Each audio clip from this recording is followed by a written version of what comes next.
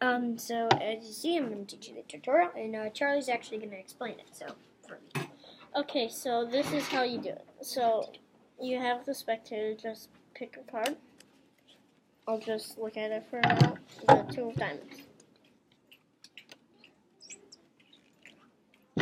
And so all you do is like so you you the have- wand, you have the two of diamonds. and you have the wand. This is the wand. So so you just have it and you just use any force to get it to the top. Like you could like either put it on top do a false cut, but I like to put it in, but when I grab I bend down so I get a thumb break and just um cut to their card so their card is on top. So then so then the next step you you just you just have shuffle to it up. shuffle it. keeping the card on top.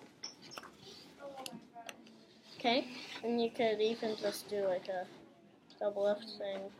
this card's on the top, so on the bottom, so not here. So just casually show it's less than the deck, even though it's not.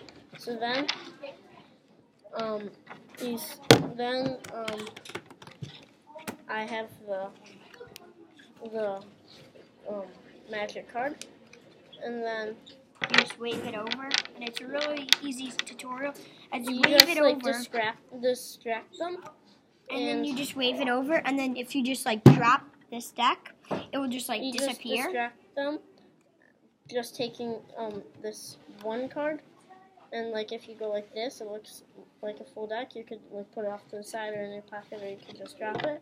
So like you ask them a question or something, and then this kind of looks like it's um a whole deck. Like if you just hold it in a normal grip, then you just say, I could just go like this. And it's only one card, which is yours. So that's how you do the trick. Thanks for watching. Bye.